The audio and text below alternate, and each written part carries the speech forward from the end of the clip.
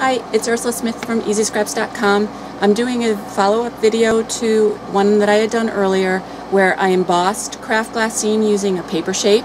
And if you remember the paper shape, we cut it out of three pieces of cardstock that we sandwiched together. We kind of taped it together to keep it as a single unit. And then we embossed using the Sizzix Big Shot machine. Well, today I'm going to do something similar, but I'm going to use the AccuCut Grand Mark machine. And if you're lucky enough to have one of these machines, you know how great it is. Uh, we're going to use the Grand Mark machine, and then we're going to use an insert that AccuCut sells. I don't know if you can see that. It's a big old piece of, I don't know, some kind of plastic material. It's actually made to help you cut thinner dies on the AccuCut machine. But I'm going to show you how to emboss with it. So sit back, enjoy, and I hope you learned something.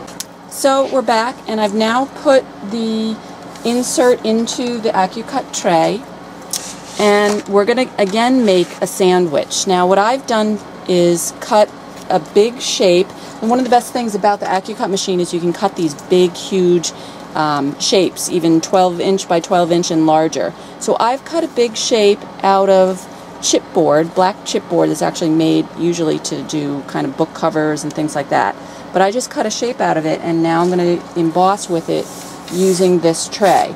So I'm going to place the shape on top of the tray and then I'm going to cover it with a piece of cardstock. This cardstock that I'm using is actually pretty neat.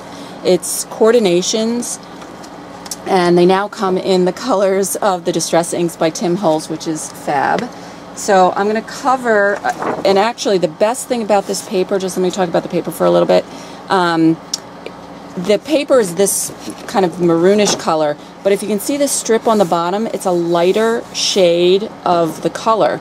And what happens is when you sand the, the darker color cardstock, the lighter shows through. So it's a really neat two-tone look and looks great with this paper shape embossing. So I'm going to cover my paper shape, or my chipboard shape, actually in this instance, with my cardstock and then I always need kind of a rubber um, surface to let the shape underneath press into.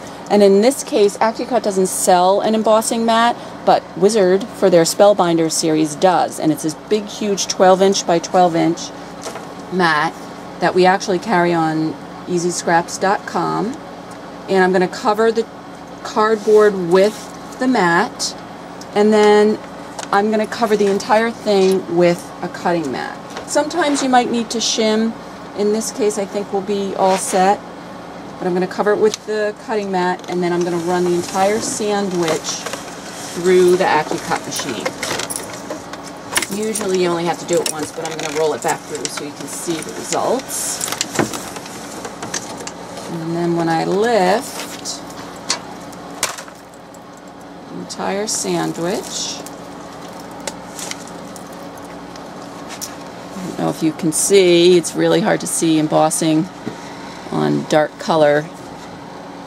There's the deboss, there's the emboss image. But now the cool thing with this paper, this cardstock, is I can come ahead with a sanding block and sand over the embossed image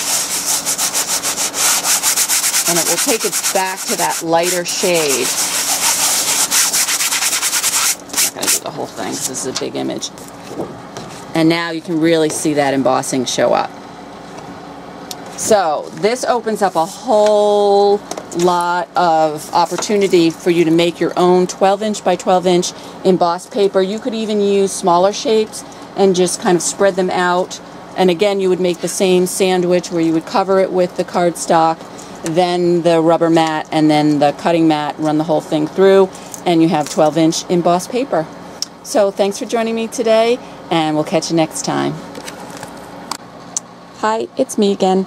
I just wanted to show you the um, results of the paper shape embossing on the 12 inch by 12 inch cardstock and when it's been fully sanded. So you can see now the embossing shape is really showing up. I went over the whole thing with a sanding block and just to show you, you know, how I might start trying to finish it just a shape in the middle and a picture. And I've got the start of a great scrapbook page. Thanks again, and we'll catch you next time.